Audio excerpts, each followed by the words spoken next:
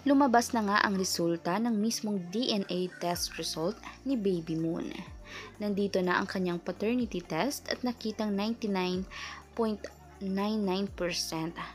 ang resulta na siya umano ang ama ni Baby Moon. Ngunit hindi kayang tanggapin ni Skostakli dahil nakikipag-inuman umano sa bar, sa club itong si Zainab Harake palaging lumalabas umano ng bahay kahit hindi naman umano niya pinapayagan. Kaya umano humahantong sa awayan ang kanilang pinag-uusapan lagi. Kaya ngayon ay diskumpyado umano si Skostakli na siya umano ang ama ng bata.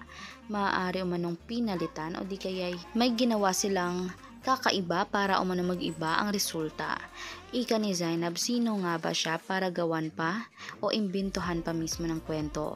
Tilang makatotohanan ay nandyan na sa harapan niya na anak niya si Moon at hindi niya dapat binaliwala ito at hindi dapat siya iniwan nung gabing naghihingi si Zainab sa kanya na huwag siyang iwan.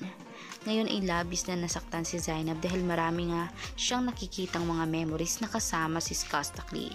At ito namang si Skosta ay pa-chill-chill lamang. Kaya ano nga bang magiging komento niyo dito? Naniniwala ba kayo kay Skostakli? I-komento na at huwag kalimutan mag-subscribe pati click mismo ang notification bell para lagi kayong updated sa ating future trending videos na ina-upload kada araw. Maraming salamat mga kanatasen!